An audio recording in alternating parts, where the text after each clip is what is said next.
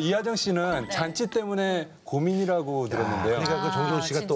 또 그러니까 워낙 마당발이고. 인맥이 넓다 보니까 저희 결혼식 때도 한 2천 어. 분 가까이 와서 축하를 해주셨고 우리나라에서 마당발 쪽으로 한 top 3가 예. 우리 정준호, 조영구 뭐 이런 네. 사람들이에요. 맞아 맞아. 박경림 아, 거. 마당발 top 3 있어요. 예.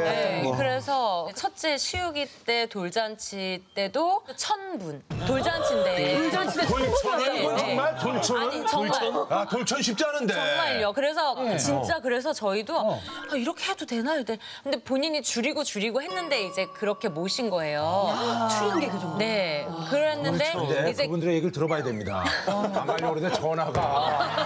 여러 번 했을 수도 어, 있어요. 그럼.